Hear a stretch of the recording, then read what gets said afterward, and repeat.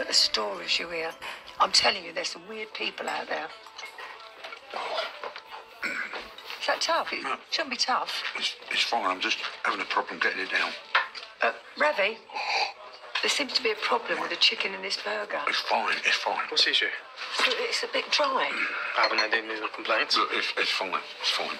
It- it- No, he can't swallow it. Maybe you should try chewing. Look, we don't go out to dinner very often, but when we do, we expect to get our money's worth. Look, Kathy, I'd offer to take it back, but he's already eaten most of it. Kathy. It's not the food. Well, then what is it?